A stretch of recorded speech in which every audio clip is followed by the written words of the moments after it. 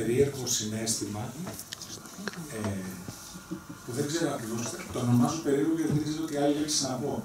Είναι περίεργο να ακούω την προσέγγιση μου από συναδέλφους άλλων προσεγγίσεων. Ε, είναι ανάμεικτο αυτό το συνέστημα, δεν το, δεν, το λέω ονομάζω περίεργο γιατί δεν έχω βρει άλλη καλύτερη λέξη. Είναι ευχάριστο, δεν είναι καθόλου δυσάρεστο. Αλλά είναι πρόκληση και για μένα, καθώς ακούω να μιλάνε ένας, λακανικό, ένας λακανικός, πρώην λακανικός αναλυτής και ένας υπαρξιακός αναλυτής για το focusing. Είναι, είναι ωραίο, είναι ωραίο, αλλά και περίεργος χρόνος. Ε, παρόν χρόνο, ε, θα ήθελα τώρα να σας παρουσιάσω τον επόμενο μιλητή που είναι ο κύριος Χαρισιάδης, ο κύριος Αλέξης Χαρισιάδης, υπαρξιακός ψυχοθεραπευτής και υποψήφιος διδάκτορ κλινικής ψυχολογίας στο Πάντο Πανεπιστήμιο. Ευχαριστώ πάρα πολύ, Παύλο, για τα λόγια. Ευχαριστώ όλους που είστε εδώ και για την πρόκληση, πρόσκληση που είναι πολύ τιμητική και μου δίνει μεγάλη χαρά. Πρόκληση, πρόκληση. Μου δίνει μεγάλη χαρά και πάω να συνεχίσω πάνω σε αυτό που είπες. Θα ακούσεις κι άλλα από. Ε, λοιπόν, θα ξεκινήσω λοιπόν. Καμιά φορά λέω σε συναδέλφους, όταν δεν έχουμε μπροστά προσωπικούς Λέω ότι η προσωποκεντρική προσέγγιση είναι τόσο σπουδαία που δεν μπορούμε να την αφήσουμε μόνο στου προσωποκεντρικού. Γεια σου, Και το εννοώ. Και το εννοώ. Δηλαδή, και σκέφτομαι ότι με την ε, έκδοση αυτού του βιβλίου κάνετε μια πολύ μεγάλη προσφορά σε όλο τον χώρο της ψυχοθεραπείας και θα είναι τεράστιο λάθος αν δεν επικοινωνηθεί παραδέσω το ότι αυτό το βιβλίο αφορά ε, κάθε άνθρωπο που θέλει να λέγεται ψυχοθεραπευτής. Ε, αυτό είναι πάρα πολύ ξεκάθαρο. Τώρα να πω δύο λόγια για τη δική μου σχέση με την προσωποκεντρική, ε, την οποία ε, για να δείξω πόσο την εκτιμώ θα σας πω πάλι για κάτι, κάτι προσωπικό. Ε, Έφερα εγώ με την δύο χρόνια που δουλεύουμε μαζί δύο χρόνια προς το τέλος της θεραπείας, ήταν και αυτή η ψυχολόγος μου, λέει κοιτάζαμε πώς πήγε η θεραπεία, μου λέει, ε, κοιτάζοντα το έτσι όπως εξελίχθηκε το πράγμα, τη θεραπεία μας, αν μου λέει δεν ήξερα ότι είσαι υπαρξιακός ψυχοθεραπευτής, θα έλεγα ότι είσαι προσωποκεντρικό. Και της λέω, σε ευχαριστώ πάρα πολύ. Ήταν ένα πολύ ωραίο κομπλιμέντο για μένα, γιατί θεωρώ ότι πραγματικά η προσωποκεντρική είναι η βάση του να είναι κάποιος ψυχοθεραπευτής και η συνεισφορά του Ρότζερ σε πρώτη φάση και του Τσέντλιν είναι ανεκτήμητες για το χώρο της ψυχοθεραπείας. Είχα μελετήσει ξεχωριστά αρκετά και τον, και τον φυσικά Καρλ Ρότζερς, αργότερα και τον Τζεντλίν και είχα ουσιαστικά και από τους δύο με διαφορετικό όμως τρόπο. Και, αλλά μου έλειπε κάτι και αυτό που μου έλειπε ήθελα να το καλύψει ακριβώς αυτό το βιβλίο.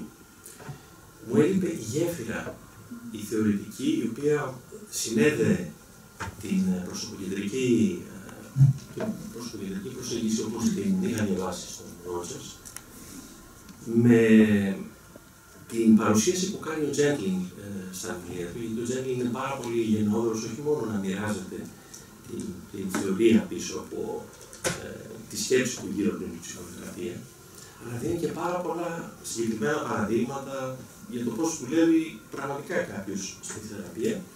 Δείχνει και το τεχνικό κομμάτι της ε, θεραπείας πάρα, πάρα πολύ αναλυτικά. Και κάπου έλειπε ίσως σε μένα, δεν είχε ακόμα ενημερωθεί το πώς ακριβώς σχετίζεται το ένα με το άλλο και πού υπάρχουν, που, που, που συνδέεται ακριβώς η θεωρία του Τσένινγκ με τη θεωρία του Ρότζερς. Διαβάζοντας λοιπόν αυτό το βιβλίο ένιωσα ότι η γεφύρωση αυτή έγινε και ότι ακριβώς απαντάει σε αυτή την ανάγκη κάποιου ο οποίος θέλει να είναι ενήμερος για την, για την θεωρία του Ρότζερς, έχει μελετήσει το Τσέντλινγκ και θέλει να εμβαθύνει λίγο παραπέρα, να το πάει λίγο, παρα, λίγο παρακάτω.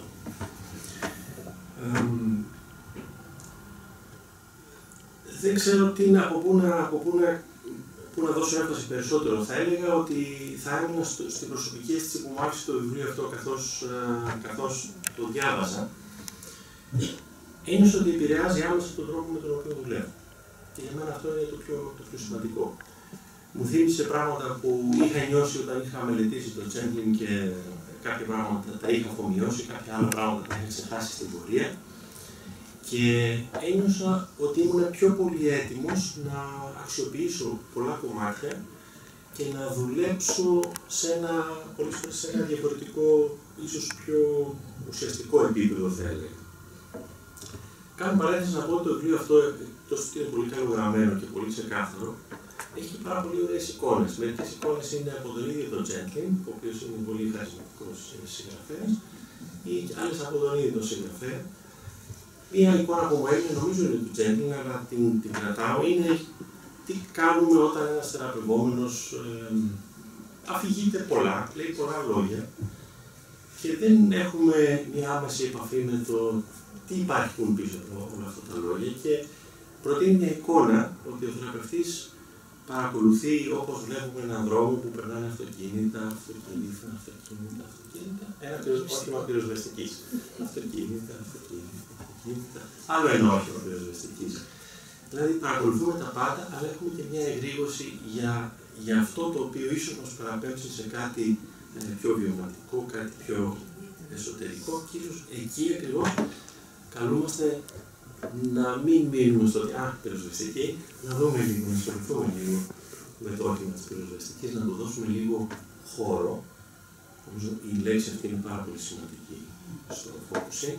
Έχω ακούσει πάρα πολύ πολλές φορές από την Τάνα την Καραλίνα στο μεταδίδει πολύ ζωντανά την ανάγκη για να υπάρχει χώρος και για να υπάρχει χρόνος, ώστε να μείνουμε στο βίωμα και να το αφήσουμε να μιλήσει από μόνο του, με τον δικό του ρυθμό, με τον δικό του τρόπο και να εκφραστεί όπως είναι να εκφραστεί.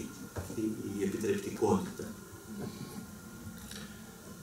Ε, δεν θα, δεν θα, δεν θέλω να μακρηγορήσω, θέλω να κάνω μόνο μια σύνδεση με τη φαινομενολογία και να πω ότι εάν η φαινομενολογία είναι το να βλέπουμε τα πράγματα ε, πώς είναι, έχει πολύ μεγάλη αξία ε, η, η μέθοδος του, του focus και της εστίασης στο ότι μας επιτρέπει να μείνουμε περιγραφικά ε, σε αυτό που είναι εκεί και να το επιτρέψουμε να αναδειχθεί έτσι όπως είναι με τα δικά του χαρακτηριστικά, με τις ειδικές του ιδιαιτερότητες, πέρα από οποιαδήποτε θεωρία, πέρα από οποιοδήποτε ε, δικές μας υποθέσεις και ατζέντες που κουβαλάει ο ίδιος ο θεραπευτής.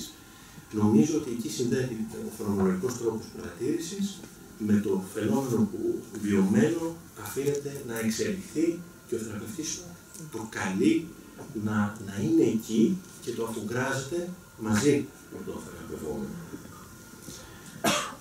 Φυσικά να τονίσω ότι αυτό επηρεάζει όχι μόνο το, το βίωμα του, του θεραπευόμενου, αλλά αφορά και την εγρήγορσή μας ως προς το δικό μας το βίωμα ως θεραπευτού. Και που είναι απαραίτητο για να μπορούμε να συνεπάρξουμε και να δημιουργηθεί η, η αλληλεπίδραση με έναν ουσιαστικό και θεραπευτικό τρόπο. Ε, δεν θέλω να πω άλλα πολλά. Θέλω να κλείσω με ένα, με ένα περιστατικό που είναι όμως αληθινό. Να σας πω ότι εν ώψη της παρουσίασης ε, είχα, είχα αφήσει λίγο προς το τέλος το, το διάβασμα του βιβλίου και αξιοποιούσα έτσι κάθε χρόνο που είχα. Μεταξύ κάποιων λοιπόν συνεδριών είχα κάποιο κενό και αφοσιώθηκα λοιπόν στο να διαβάζω το βιβλίο. Μετά είχα μια επόμενη συναντρία και όπως κάνω συνήθως, με το αυτό κανένα στον επόμενο μου, προσπαθώ να αξιοποιήσω ό,τι, ό,τι μαθαίνω. Δοκίμασα λοιπόν κάποια από αυτά τα οποία υπήρχαν εκεί στο βιβλίο και βγήκαν αδιέστα και φυσικά. Και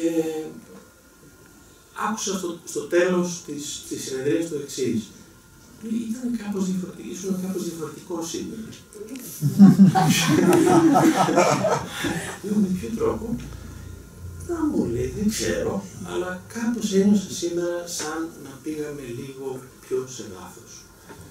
Αυτό για μένα ήταν πολύ ικανοποιητικό και θέλω να ευχαριστήσω το, αυτή την εμπειρία που μου προσέφερε ακριβώς αυτό το βιβλίο και να το καλωσορίσω στην βιβλιογραφία της ψυχοθεραπείας μας.